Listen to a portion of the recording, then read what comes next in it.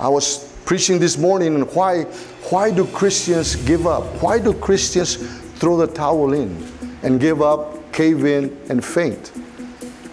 Amén. En la mañana estábamos predicando sobre, ¿verdad? ¿Por qué los cristianos, los hijos del Señor, lavados con la sangre, amén, bautizados con el Espíritu Santo, ¿por qué avientan la toalla y dejan a Dios?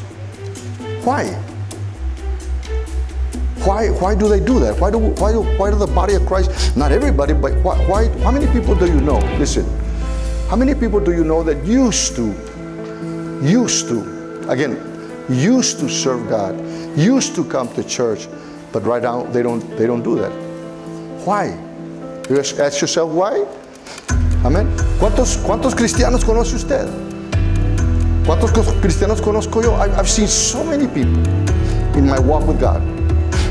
Lovely people, nice people, good people. Used to serve God. Some of them used to preach the Word of God. Some of them used to sing for God. Some of them used to teach Sunday school.